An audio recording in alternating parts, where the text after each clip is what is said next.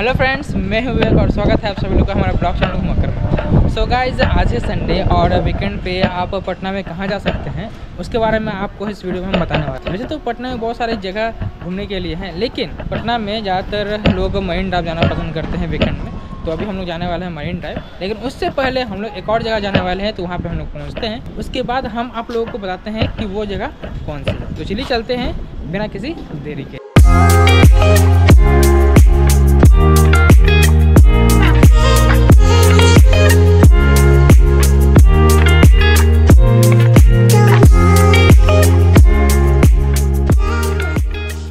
तो गाइज़ हम लोग आए हैं कुम्हार पार्क में। वीकेंड में आप इस जगह पे आकर अपना टाइम स्पेंड कर सकते हैं। और ये पार्क वैसे तो ज़्यादातर जाना जाता है कपल के लिए। यहाँ पे आपको बहुत सारी चीज़ें देखने को मिलेंगी। चारों तरफ़ आपको ग्रीनरी देखने को मिलता है। यहाँ पे आपको अशोक स्तंभ देखने को मिलता है। छोटा मोटा तालाब है। और भी बहुत सारी खूबसूरती जो आपके मन को मोह ले ऐसा दृश्य आपको यहाँ पे देखने को मिलता है। तो अगर आप वीकेंड में कहीं जाना चाहते हैं, घूमना चाहते हैं तो आप कुम्हार पार्क भी आ सकते हैं, घूम सकते हैं।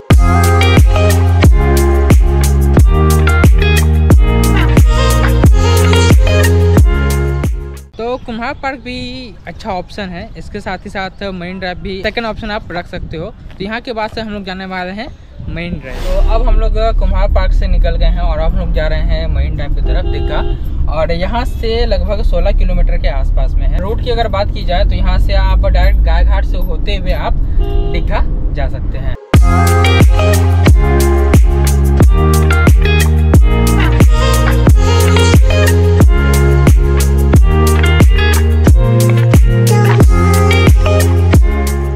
तो गाइज़ हम लोग अब आ चुके हैं मरीन ड्राइव दीघा और यहाँ पे आप देख सकते हैं, ऊपर आपको दिख रहा है दीघा ब्रिज और सामने बोटिंग हो रही है, जेट की और हाई स्पीड बोट। तो दीघा में अगर आप आ रहे हैं तो कुछ इस तरह के एक्टिविटीज़ आपको मिलते हैं। और साथ ही साथ भीड़ जो है, वो काफ़ी ज़्यादा होती है। यहाँ पे आप हॉर्स राइडिंग कर सकते हैं। जहाँ मैं अभी खड़ा हूँ, यहाँ पे आप देख सकते हैं पूरा बालू। और सामने आपको जितने भी स्ट्रीट कार्ड दिखने को मिलते हैं फ़ूड कार्ड वो सारा यहाँ पे लगा हुआ है। तो रोड पे बहुत ज़्यादा जाम हो जाने के कारण यहाँ पे ही स्ट्रीट कार्ड फ़ूड कार्ड यहाँ पे लगाया जाता है। लेकिन भाई साहब, यहाँ पे धूल इतना ज़्यादा उड़ रहा है। और कार की अगर पार्किंग की बात की जाए तो यहाँ पर आप देख सकते हैं कार भी यहाँ पे पार्क कर दिया है तो गाइज़ कुछ चीज़ें आपको यहाँ पे चेंज दिखेंगी। पहले आप रोड पे खाया करते थे और अब आप नीचे घाट पे अगर खाना अपना एंजॉय करेंगे।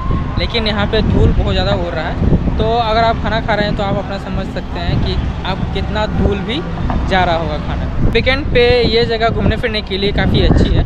आप यहाँ पे आ सकते हो और अपना दिन एंजॉय कर सकते हो। तो इस वीडियो में मैंने आपको दो स्पॉट के बारे में बताया सबसे पहला कुम्हार पार्क वहाँ पे आप जा सकते हो।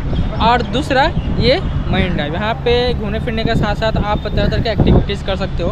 बोट राइडिंग हॉर्स राइडिंग और डबल डेकर क्रूज और भी बहुत सारी चीज़ें आपको यहाँ पे देखने को मिलती है। तो इतनी सारी एक्टिविटीज़ आपको करने को मिलती है। अगर आप चाह रहे हो अपना वीकेंड अच्छा माना तो आप यहाँ पर भी आ सकते हो।